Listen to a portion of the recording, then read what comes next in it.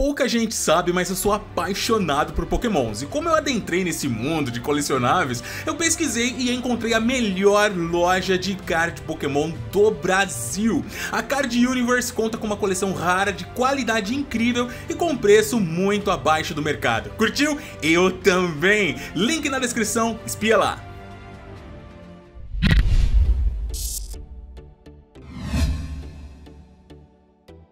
Fala fiotes, eu sou o Kalil e bem-vindos a mais um vídeo aqui no canal Gamer Liu Games. No vídeo de hoje vamos de jogo da Plus para março, em específico Final Fantasy VII Remake, caras. Inacreditável! O impossível aconteceu. Mas antes de qualquer coisa, já deixa aqui o seu like estratosférico, como essa Plus, para ajudar no trabalho que fazemos. E se ainda não for um inscrito do canal aqui, seja muito bem-vindo também. Se inscreva hoje hoje e marque o sininho para receber todas as novidades, beleza?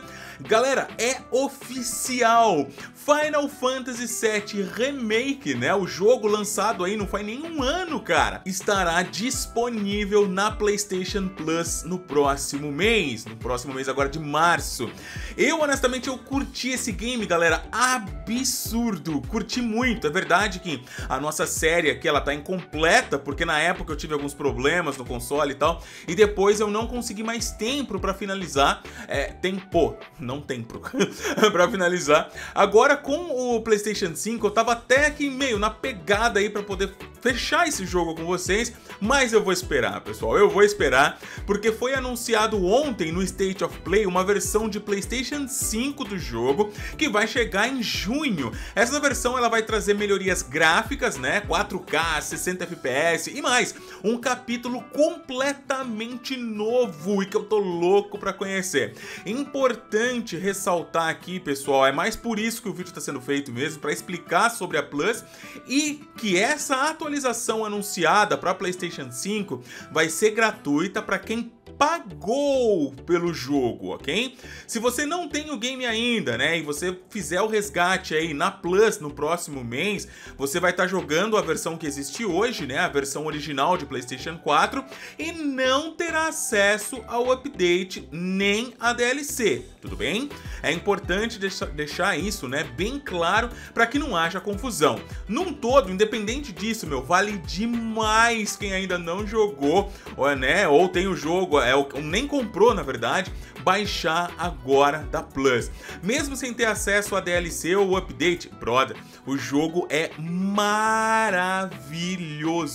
Ele é lindo em tantos aspectos que atrai fãs e até quem nunca jogou a franquia.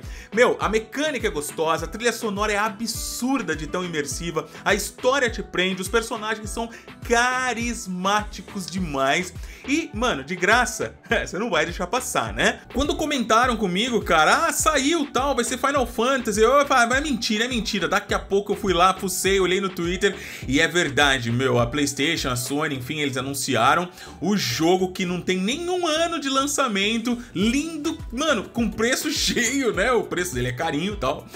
Mano, vai estar tá de graça, entre aspas, né? Pros assinantes. Então, velho, se você não jogou, não pôde jogar, ou se nunca nem pensou, falar, ah, não comprei na época porque ah, não gosto e tal.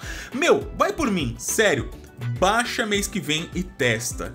Eu acho muito difícil alguém que for jogar esse game não se prender, seja pelo, pela mecânica, seja pela história, pelos enfim, alguma coisa vai te prender, cara. Você vai curtir. É real então.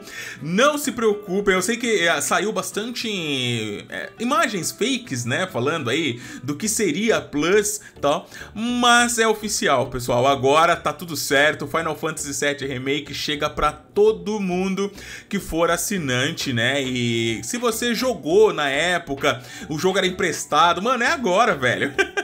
Baixa lá que você vai curtir. Fora Final Fantasy VII, a gente vai ter também o Remnant from the Ashes, um, um shooter Souls-like, tá ligado? Quem acompanhou as lives aqui sabe que foi uma experiência muito estressante, porque o bagulho é dificílimo.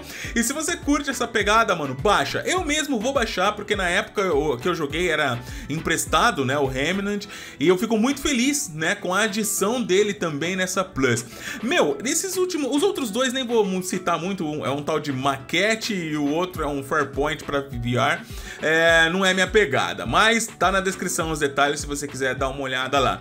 Esses últimos meses a Sony tá matando a pau na Plus, cara. Se você não é assinante, olha eu querendo vender, né? Mas enfim, é fato. Se você não é assinante da, da Plus, cara, você pode estar tá perdendo muitas oportunidades por um preço tão pequenos parar pra, né, pra pensar, você vai estar tá ganhando muito jogo que é preço cheio e muito caro na própria loja, né? Sem contar, né, que agora aí o Play at Home tá chegando é, em março, se eu não me engano, e a Sony vai trazer aí jogos de graça pra galera da marca por quatro meses. Então vamos aproveitar todas essas oportunidades aí, enquanto a Sony tá sendo mãe, porque quando ela quer, ela também enfia a faca sem dó. Então, bora baixar lá e depois comentem aqui o que vocês acharam, né, dessas adições da Plus é muito importante também.